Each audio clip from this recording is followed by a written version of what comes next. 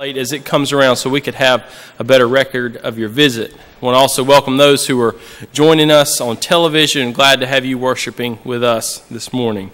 Uh, just a couple announcements before we get started this morning. First of all, I'd like to say thank you on behalf of, uh, of Caroline and I for your uh, the ways that you have so graciously and wonderfully welcomed us over this past year.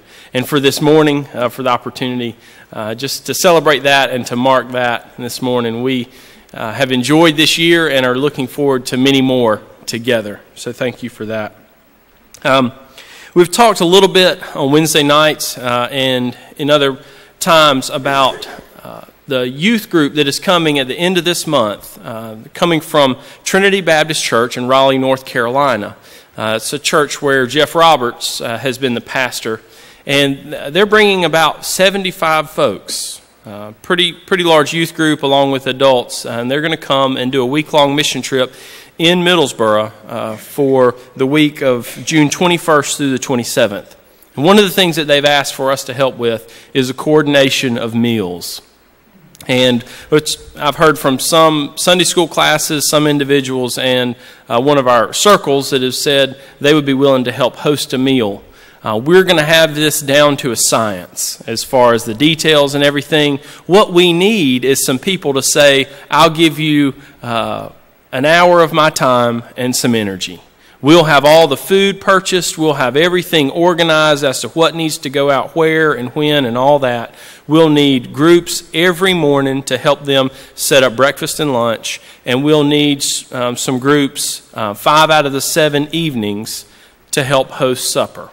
And some of those meals have already been taken care of. Uh, some of it will just be serving, some of it might be just picking up the food. Um, so if you are interested in helping out with that or in other ways, um, they're having 75 folks come from North Carolina. I'd love for 75 of us to be here and to welcome them in different ways and to help them as they uh, are on mission here in Middlesboro for the week. So if you are interested in being a part of that, uh, and you're not quite sure how to plug in, um, come talk to me, call me, send me an email.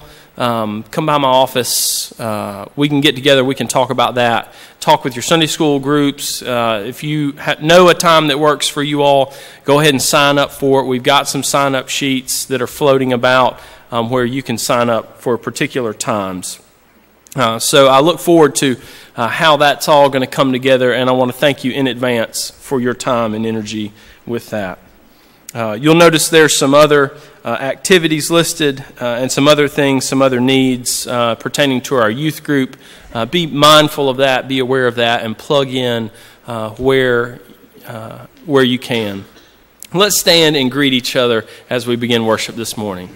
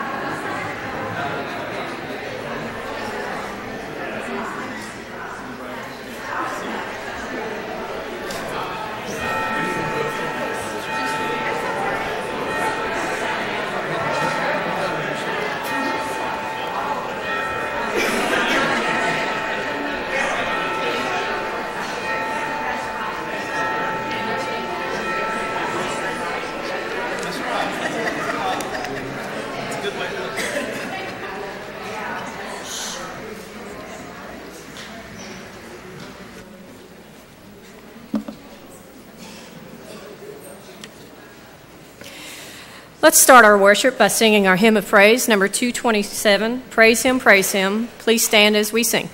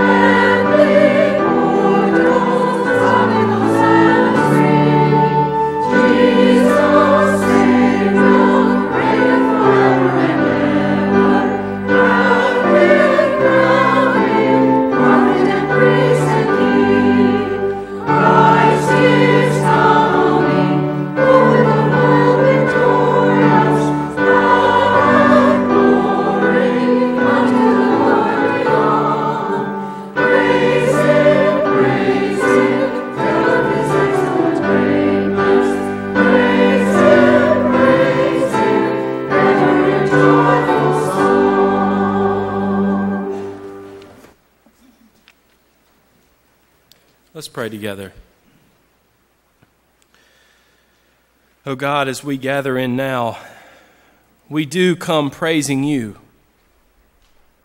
We come praising you because you are worthy of our praise.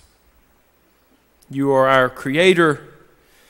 You are our Redeemer. You are alive and you are working in this world. And we come praising you this morning in worship. Because some of us, it is our custom. For some of us, there is no better place that we could be this morning. This is where we need to be. This is what we need to get through our week. We need to worship you and to be filled by your Holy Spirit. God, as we offer our gifts of praise this morning, as we offer our prayers, as we read Scripture, as we fellowship with each other, may we encounter your gracious Spirit, and may we receive a blessing of enoughness, enough for today, enough for this week. In your name we pray. Amen.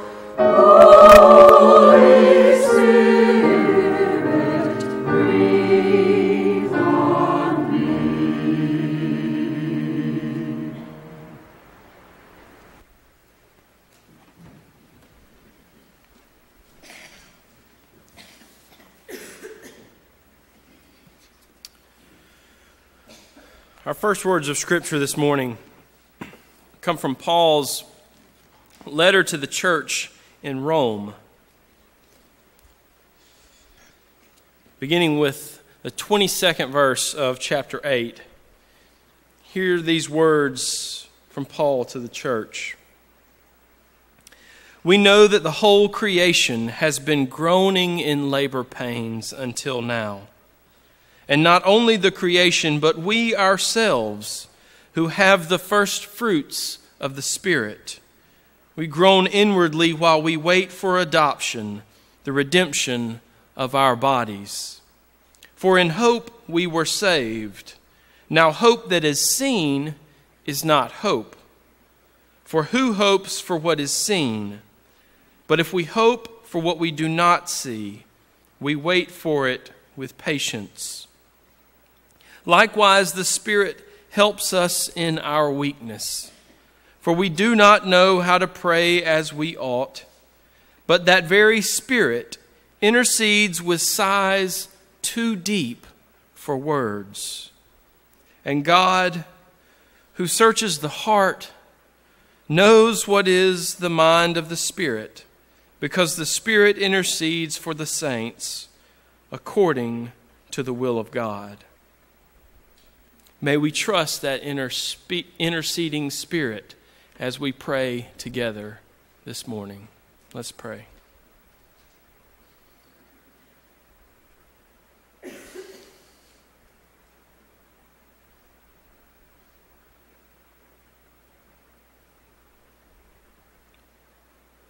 God, so often,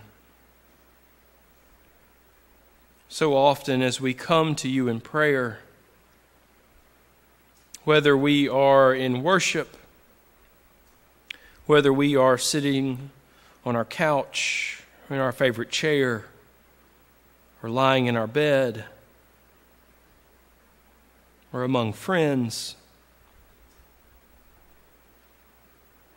So often we have a hesitation about us. What do I say? What should I ask? How should I be? What should I think? And as distractions come up in our lives, whether in the moment of prayer or if it's the chaos that we go into prayer in the midst of, these distractions deter us, they pull us away. They take our attention and our devotion, which should be focused on you, and they move them elsewhere. And our anxiety that so often can become overwhelming to the point that we just stop praying. There's really no need for that anxiety at all. For we hear these words, we hear this promise that there is a spirit that is interceding on our behalf, one who knows us to the core of our very being, one who is with us as we experience some of the most unspeakable things that we could go through in life a place where some of our church members are even today. That Spirit is with us as we go through the valley of the shadow of grief.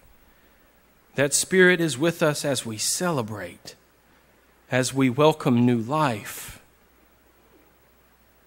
There is not a part of our life that you are closed off from, O oh God. We can't lock the door tight enough. We can't close the windows and bar them enough. You find your way into our lives. And oh, that should give us cause for hope. That though we may see through a glass darkly, we do see. And if we can look long enough, we will see that there is only love. Your love, which constantly surrounds us, which holds us up, which carries us in the moments where we are too exhausted to go on. Your love celebrates with us in our deepest joys and excitements. Your love is with us always. God, join us together in that love that we find embodied in the presence of Jesus Christ, who teaches us to pray, saying, Our Father, who art in heaven, hallowed be thy name. Thy kingdom come, thy will be done, on earth as it is in heaven. Give us this day our daily bread, and forgive us our trespasses as we forgive those who trespass against us. And lead us not into temptation, but deliver us from evil. For thine is the kingdom, and the power, and the glory forever. Amen.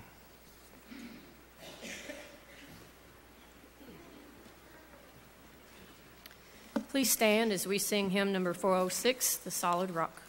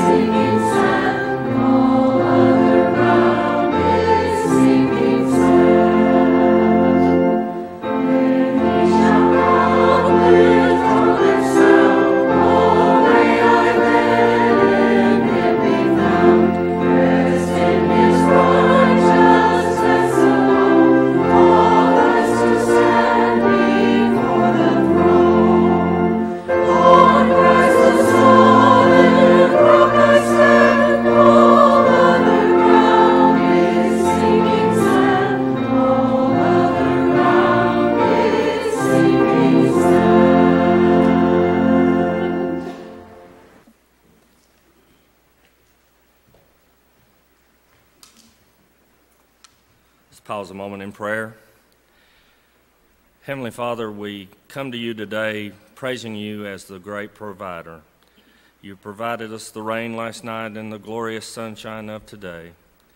How fitting it is for us to give back a little of what you give us. Bless these gifts for the glory of your kingdom. These things I pray in Jesus' name. Amen.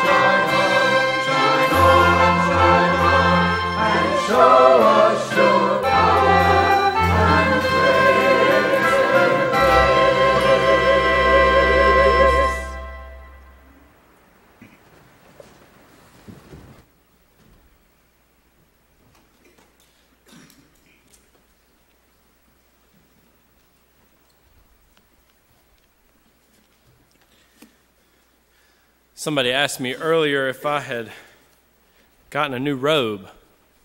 And I hadn't. I just got a new stole. It may just be that this red looks so good with this black. uh, yeah. We're catching on here. We're catching. Um, we're today is the uh, marks the day of Pentecost. That's what we're going to read about in Scripture, and that's the reason for the red, which is a reminder of the flames, the flames of fire. Um, it was a powerful time, and red is such a powerful color. Uh, it's striking to the eye, and I imagine what the disciples and those gathered experienced was striking for them in their own walks of faith.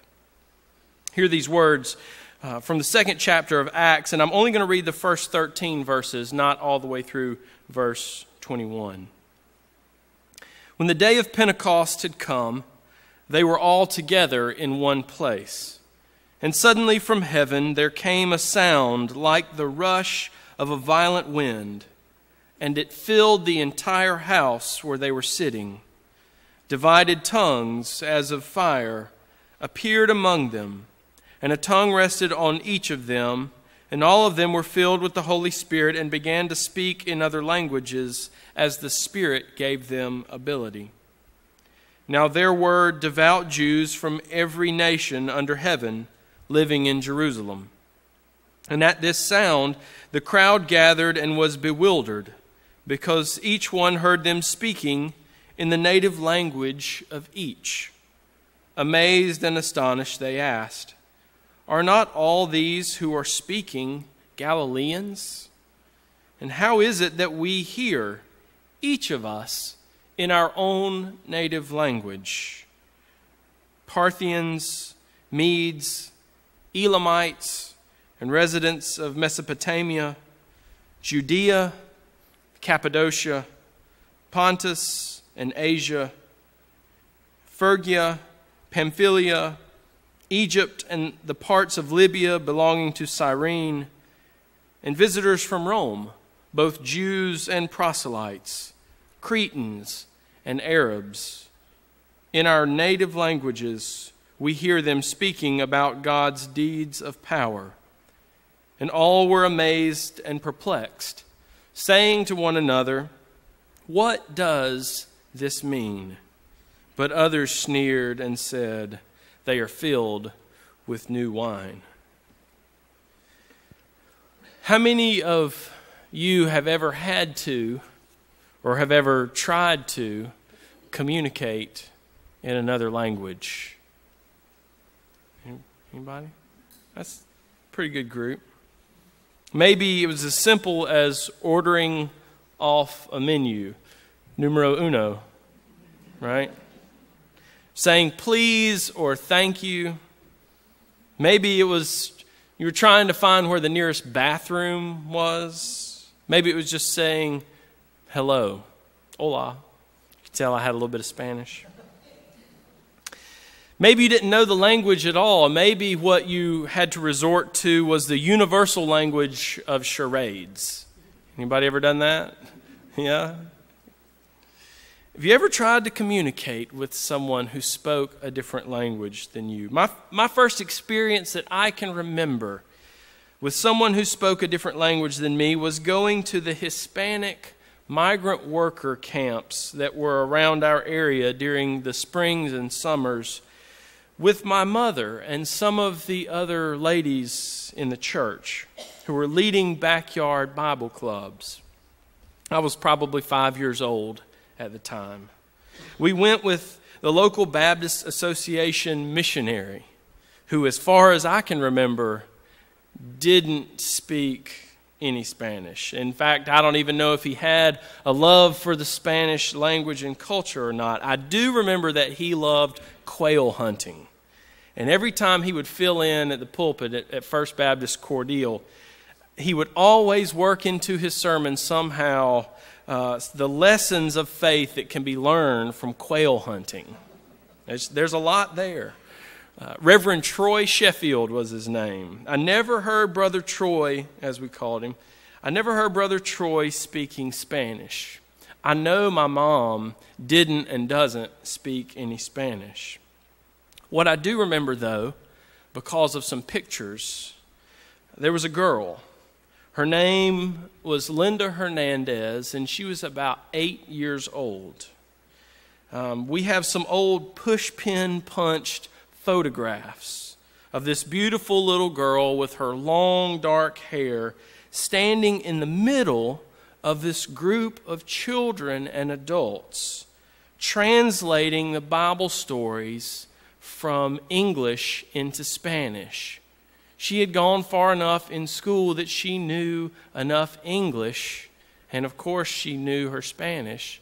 And so she was translating for the whole group of ours. And my memory resides in pictures as far as that goes. But my mom said, yeah, yeah, she was our translator. Imagine relying on an eight year old to translate your Bible stories. There's probably a good lesson of faith there. My only other memory of that occasion was Andy and I out playing with some of the Hispanic children who were our age. And I know that we didn't speak any Spanish at the time, but we knew enough of what we needed to know to communicate. And maybe those early experiences were the reason when, when it came to my turn to choose a language to study in high school, I chose Spanish. And I loved it. Still do, though I don't remember a lot of my vocabulary like I should. My Spanish teacher would say that was muy mal, very bad. Um, but I've always been fascinated with other languages and cultures. Isn't amazing? Isn't it amazing in this day and time how much more connected we are with the rest of the world and what's going on. How many of you remember 30 or 40 years ago looking at the paper and the percentage of news that was there in the paper that was just about where you lived? It was probably pretty high, wasn't it? But think about now. Think about the news that we get every day. There's not a news story or a country that exists that's off limits to our perusing to our studying about, to our reading, to our hearing a dialect.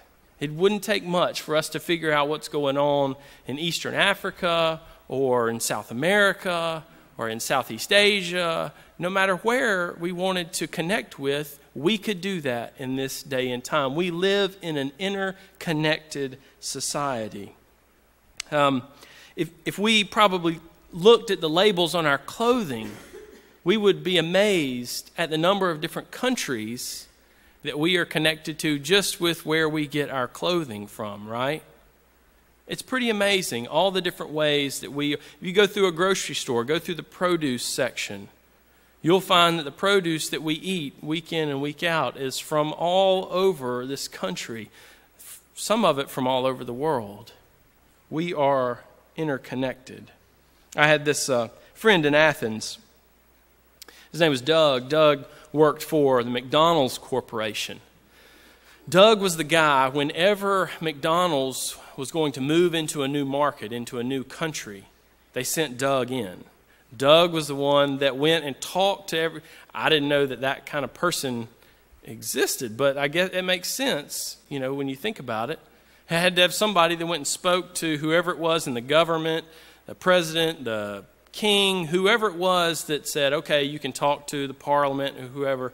And he did all that greasing of the wheels before McDonald's moved into a new market. He has been all over the world.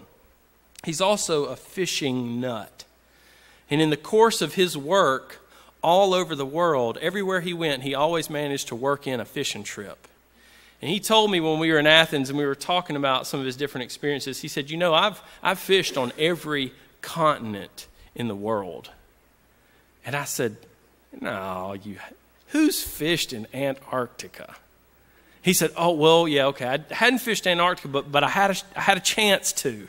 And my wife was tired of me being gone for three months, and so she made me come on back, and I had to miss the trip. But, but who of us would have ever imagined being able to do exactly what it is that you love anywhere in the world you wanted to do it? It's a picture of our interconnectedness. I've had an opportunity to preach in some different places. The first time I preached in a different culture and context, it didn't go so well. In fact, it was, it was pretty bad. And, and I realize now, looking backwards, why. The reason why is I was afraid. I was nervous about what I was doing. I was afraid to say the wrong thing. It was only the third or fourth time that I had ever preached, including standing up in preaching class. And I was still trying to figure out if preaching was something that I wanted to do, that I could do, that I was called to do. And so, out of fear, I brought a sermon that I had preached in a preaching class just in case, just in case I felt like I was going to need it.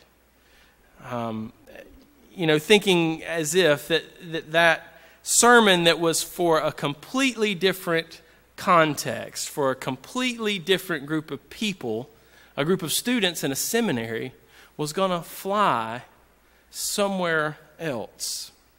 But when fear takes over, we have a way of doing what it is that we want to do rather than what we should do. And I should have trusted, but I didn't. We were in Bulgaria, in southeastern Europe, and we were up in the northern part of the country in some rugged mountains. And it was the middle of, at that point in time, the hottest summer on record. This was the first village that we worked in. I don't even remember the name of the village, it was so small. And I was, by some luck of the draw, the first one out of our group who was going to preach. Everybody had to do it, but I was the first one. We were meeting with a very small but very dedicated Bulgarian Baptist church.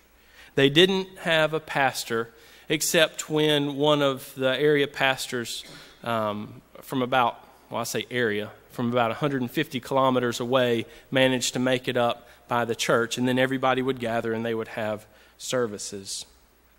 There were less than 20 members in this little village church, and the village probably numbered around a thousand people. No one in the church spoke any English, only Bulgarian. And none of the Bulgarians that were gathered there had anything more than a grade school education. One of the church members that I do remember was he was an older gentleman. He had fought in World War II. And he rode a bicycle three miles one way to come to church when he could. And that day he had ridden his bicycle in the middle of, I think, 103, 104 degree heat. And on his way to come to church, he'd stopped at a cherry tree and he climbed the cherry tree and picked a bag of fresh cherries for the visitors to his church. Now, just picture that, right? This gentleman was in his early 70s, and he's climbing up in a cherry tree. I think some of our members could probably do that. Riding his bicycle, bag of cherries, he comes in. He was late because he had spent his time picking cherries. And so when he finally rode up and leaned his bike against the wall, we had already started the service. He came and he sat down on a pew, which was a rough hewn log that was balanced on a stack of concrete blocks in the middle of a dirt floor. And after two songs, our guide and translator, Chris Angelov, motioned for me to come up to preach. And this was one of those times where I was wishing we could have sung five or six more songs because I just wasn't quite ready. I got up there as nervous as I have ever been, and I tried to preach. I really tried to give that sermon flight, to send it out there to get it going, and it took off like a lead balloon and fell at my feet. I had some good stories in it, I remember that. I had exegeted the text well. I had really done my work with the commentaries, and I had put the two together, it was just, it was a really good sermon on paper. I just hadn't thought at all about my audience. Hadn't done it. For some reason, just hadn't done it. It wasn't till I was finishing up my sermon and offering an invitation that I really began to see what was around me. The room that we were sitting in had one light bulb dangling from a wire in the middle of the room. It wasn't on because there wasn't any electricity to the village at that time of the day. The room wasn't even halfway finished, it was just concrete block walls. And as I stood in the front of the church looking towards the back, the entire right side of the church was wide open. There's only three walls. They hadn't been able to afford to finish building the church. It was missing an entire wall. And we couldn't see that from the road when we parked. We couldn't see that from where we were on the road. But from inside the church, we could see the rest of the village all around us. We could see the mountain range towering in the background surrounding this village. We could see the ramshackle dwellings all the way through this little village. And maybe that was the sermon right there. Maybe that was, was the sermon. You know, I got to thinking about it. Maybe that's the problem with some of our churches today. Maybe the problem with some of our churches today is that there are too many walls in our buildings. Maybe some of what needs to happen to our churches today is that a wall needs to be torn down so that the people in our churches can look out and can see the world around them, can see where they are, can see where they live. Maybe we see some of our world, but maybe there's parts of it that we're not turning and facing, and we need to be able to look out and see it. And on the other hand, maybe some walls need to be torn down so some of the folks outside the church can look in and can see that those of us who are gathered inside aren't too different, humanly speaking, from those on the outside. We're just regular people too. We have our struggles just like everybody else. Maybe some walls need to be torn down. I was talking with Chris, our translator and guide, about what I had experienced in those moments uh, a day or two afterwards when I'd given myself some time to think. And I told him about how frustrated I was with myself. And he said, as a, as a preacher himself, it was sometimes really difficult to translate for a really bad sermon or for for someone, for a preacher who is preaching something counter to the gospel that he knows.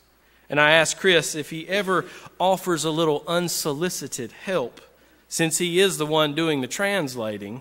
And if the person, person preaching needs a translator, they probably don't know what he's saying. Does he ever add a little bit here and there. And he laughed. He said, Yeah, sometimes. And I said, Did you do that for me the other day? And he graciously said, You know, I don't remember.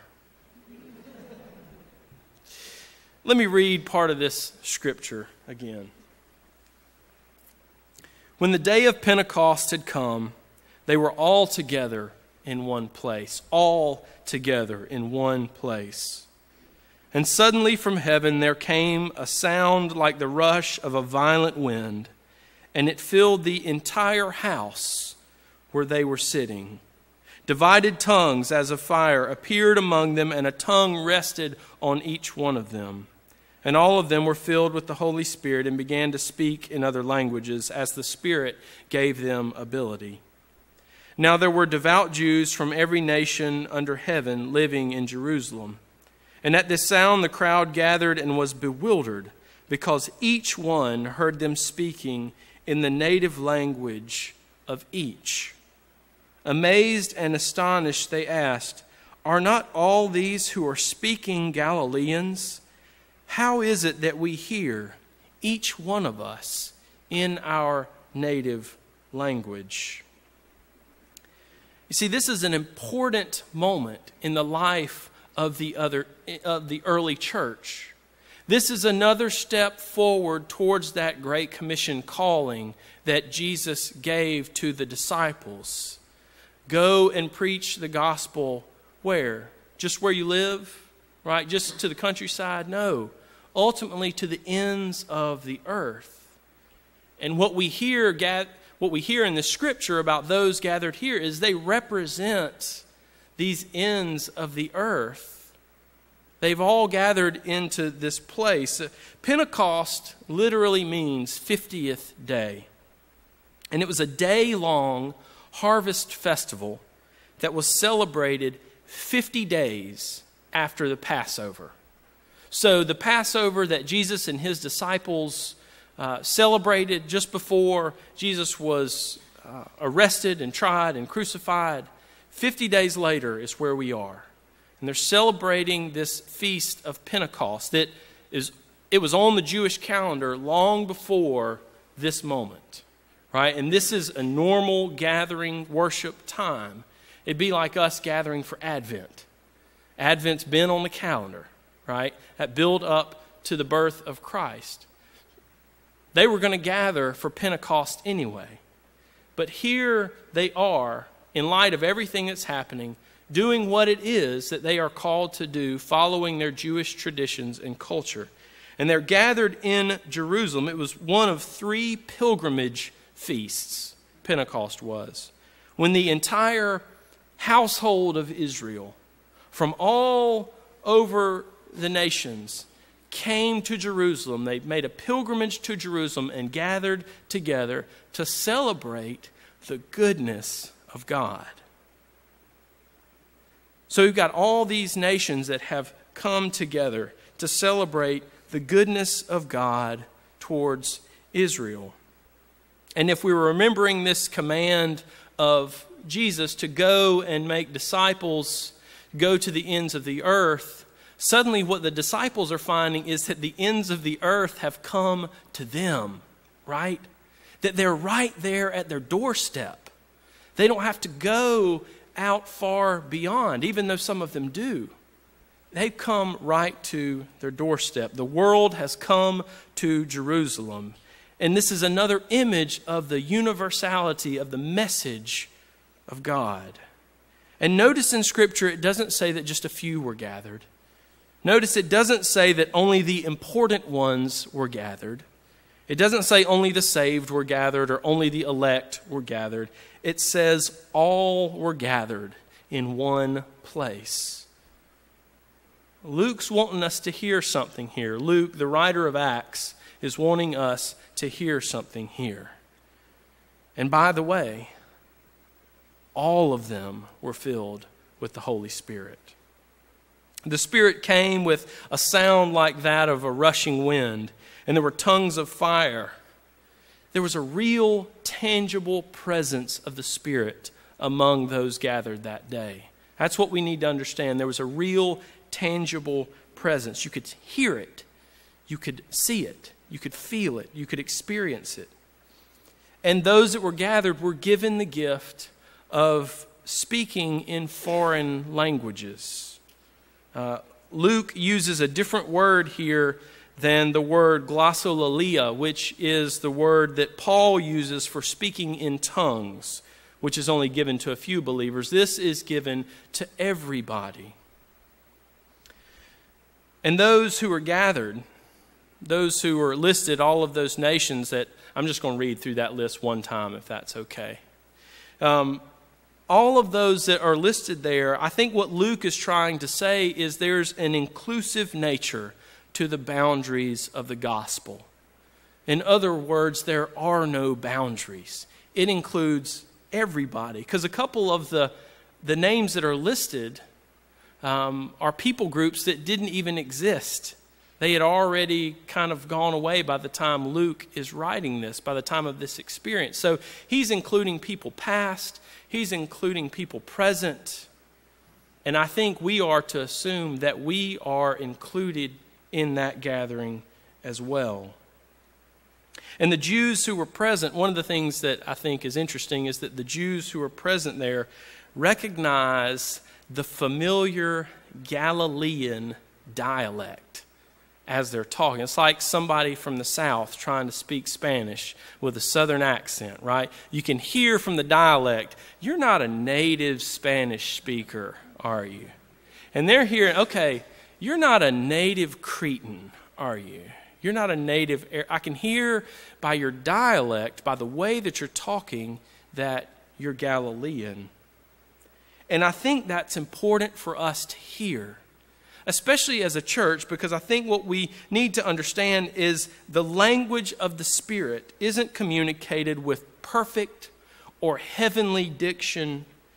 It is not free from the marks of humanity. It's our language, right? We are to use our language in communicating the love and grace of Jesus Christ. There's no special formula. There's no certain language that we're supposed to It's supposed to sound like our tongue, right? The way that we speak now. That's what God wants us to use. God doesn't want us to have somebody else's language. God doesn't want us to have some certain forms of speech that we use, but who we are, where we are now, that's who God wants to use. The language of particular human groups, spoken in their idiom. God wants us to talk like we talk when we share the gospel. Because God works in collaboration with real people. And if, if we were trying to be somebody else, we, we're not ourselves. We're not being real. Now, what does this look like? What does this look like at home? Had a moment the other day with my little niece and nephew. Actually, I was told about it uh, by my mother in law. Uh, Jack and, and uh, Mary Patrick were staying over with Caroline's mom at the house, and uh, Jack's at that age where it doesn't take much to kind of set him off and for him to kind of get upset. Um, he, he likes to be close to his mommy, um, which is not a bad thing. He just just was having a bad day that day. And his mom and dad had to go and, and uh, do something for, uh, for Tom's work, and so they were gone a little bit later than they thought they were going to be. And a thunderstorm came up, and that was really all Jack needed to kind of go over the edge. And little Mary Patrick, who's three years old, um, came to him as he was laying on the floor in the middle of the living room having a tantrum. She came to him and she leaned down and she got right next to his head and she started rubbing the top of his head and she said, It's okay, honey. Mom and Daddy be right back. honey, it's okay. And about the time she was doing that, Anne walked into the room and she saw this happening. And Mary Patrick noticed that she had come in and she kind of looked up at her as if to say, Is, is this right? Is this what I'm supposed to do? Right? They, they're coming back. And Ann just winked and nodded, and she kept going. It's okay, honey. Mom and Daddy be right back. Nobody had ever told her that it's almost absurd for a three year old to offer that kind of perspective and comfort to her five year old brother. Nobody had ever told her, you know, that just seems kind of strange. That seems almost crazy. Like you shouldn't be doing that. An adult should be doing that. Nobody ever put those boundaries on her. So she was free to respond to the situation that she saw at hand, her brother who was hurting, and she offered comfort. And I wonder what has happened in the lives of us as individuals, in the lives of our churches, where we have bought into the lie, where we can say, No, I shouldn't be doing that. Sunday school teacher, no, I shouldn't be doing that. Helping out with the youth, no, I shouldn't be doing that. Working with the children, no, I shouldn't be doing that. Putting my name on the list to be a deacon, no, I shouldn't be doing that. I've heard people that can go down and they can give you a reason at every single place in the church life of why they shouldn't be doing something, why they shouldn't be doing this, why they shouldn't be doing that. Where do we get that from? Because the way I understand it, God has gifted all of us for service. Some of us in different ways than maybe we have ever been willing to serve. When are we going to be willing to listen to the Spirit that for some of us has been speaking for years, saying, I want you to get involved in this way? When are we going to hear God's call in our lives without putting our own parameters on what it is that we are willing to do. There is a risk, there's an adventure to being church. And it should be one that we are excited about being a part of. Sir Francis Drake in 1577 wrote these words Disturb us, Lord Disturb us when we are too well pleased with ourselves, when our dreams have come true because we have dreamed too little, when we arrive safely because we have sailed too close to the shore. Disturb us, Lord, when with the abundance of things we possess, we have lost our thirst for the waters of life. Having fallen in love with life, we have ceased to dream of eternity. And in our efforts to build a new earth, we have allowed our vision of the new heaven to dim. Disturb us, Lord, to dare more boldly, to venture on wider seas where storms will show your mastery, We're losing sight of land, we shall find the stars. We ask you to push back the horizons of our hopes and to push us into the future with strength, with courage, with hope and with love. You see, there was a disturbance that day in Jerusalem. Those who were gathered had never seen things happen that way before. And with the participants, those who had received the Holy Spirit, those who were then called to risk themselves and to enter the arena and become a part of God's transforming presence in the world, I guarantee you there was a disturbance.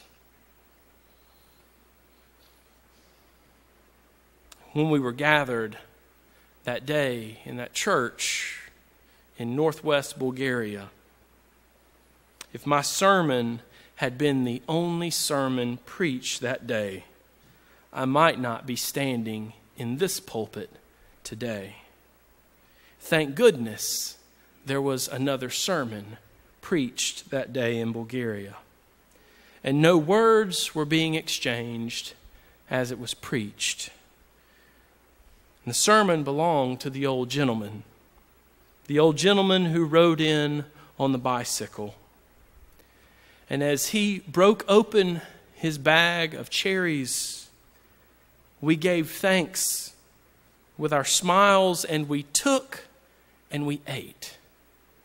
and it tasted, it tasted a little bit like bread and wine. And that is how, whether we are the ones who are disturbed or whether we are a part of the disturbance, as Christ transforming grace is a part of all of that, that is how new and wonderful and beautiful things happen in our lives and in our churches and in our communities as we are willing to risk and to give ourselves over to the grace of Christ. May it be so for all of us this day and always. Amen. Our hymn of opportunity is number 198 at the name of Jesus. If there is any decision that you would make as we stand and sing together, will you come? Let's stand together.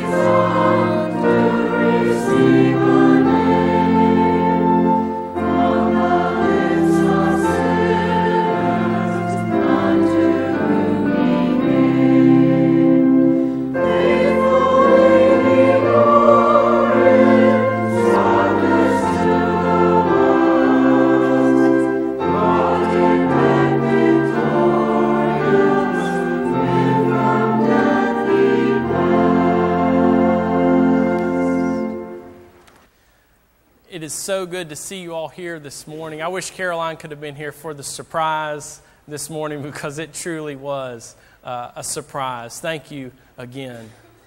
Let's receive the benediction. Brothers and sisters, as you go forth from this place, know that God goes with you.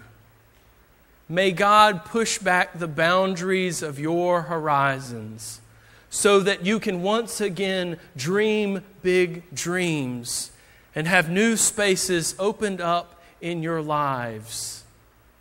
Go and risk yourselves for the kingdom of God. Amen.